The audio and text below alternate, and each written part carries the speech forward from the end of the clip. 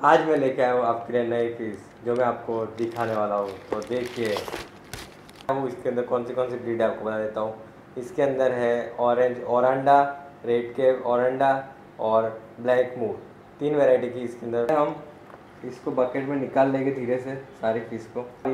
हम इसके अंदर धीरे धीरे से थोड़ी थोड़ी देर पे ऐड करेंगे और ये फ़िश को हमारे नए, हमारा जो घर का पानी है, उसके अंदर एक्लेमेटाइज करेंगे, जिससे इसका पानी का पैरामीटर और वाटर टेम्परेचर दोनों सेट हो। अगर स्ट्रेस होगा या कुछ बैक्टीरियल इन्फेक्शन होगा उसको हम पहले ही क्वारंटाइन में ट्रीट कर लेंगे। तो मैं ये एंटी एंटी बैक्टीरियल वाली जो दवाई है वो इस ये पानी के अंदर डालूँगा और इनको ट्रीट कर लूँ so I am very excited about this my gold feeds तो इसके बारे में नए वीडियो भी आते रहेंगे।